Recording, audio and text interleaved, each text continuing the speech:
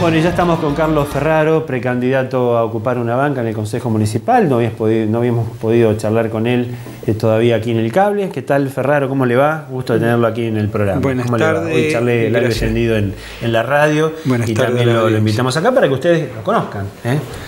Por la democracia cristiana. Por la democracia cristiana.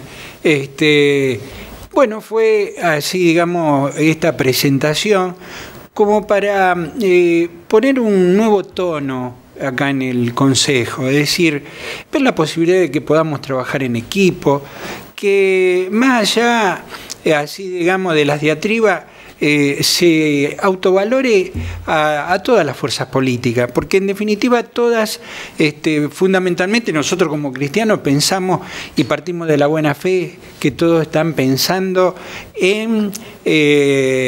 eh, eh, digamos, en el servicio a la comunidad, ¿no es cierto? Con distintas ópticas.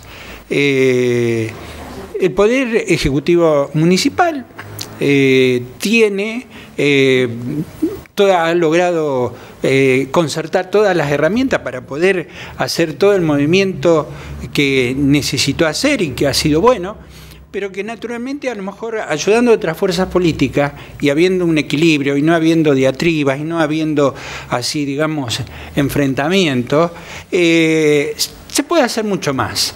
Eh, sobre todo que estamos ante una situación de cambio. De acá al 2015 eh, va a ser otro el panorama. Y entonces realmente, ¿cómo no empezar a edificarlo desde la ciudad?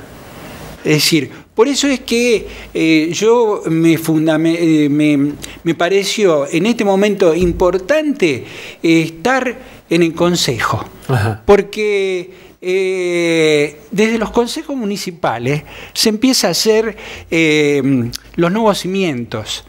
Entonces, inclusive desde el vamos, eh, la, la, gente que me acompaña, que es gente de trabajo, ¿no es cierto? Pero gente muy dispuesta a, digamos, a participar de, de, todas las cuestiones de la ciudad. Yo digo que la verdadera campaña mía va a comenzar a partir de si soy elegido, claro. ¿no es cierto? Todo lo que estoy haciendo en este momento y que estoy hablando con mucha gente es eh, tratar de recepcionar eh, todo lo que se presenta para tener una verdadera dimensión sí. de todo el panorama en los distintos barrios. ¿Y, qué, en... le cuenta, qué le cuenta a la gente, Carlos? ¿Qué es lo que usted recoge de la gente? Bueno, ahora, eh, falta, ¿no? sí.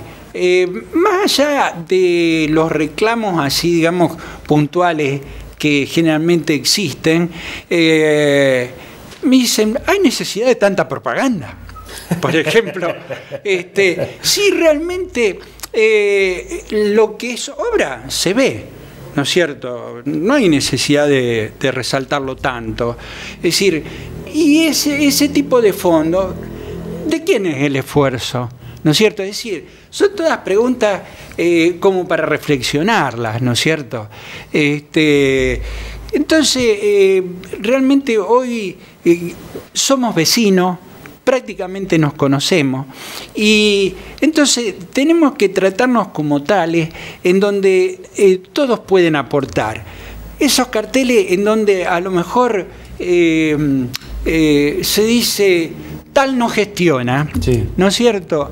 Eh, mire, hay, hay, una, hay un dicho que dice que que se enoja pierde, ¿no es cierto? Y siempre se pierde. Y el que descalifica se descalifica a sí mismo. Entonces, por eso eh, lo nuestro, eh, si yo llego al consejo, yo voy a tratar de que se trabaje en equipo, que nos apreciemos mutuamente las distintas fuerzas políticas, que no hay amigo-enemigo. ¿No es cierto? Porque en definitiva todos estamos pensando por lo mismo.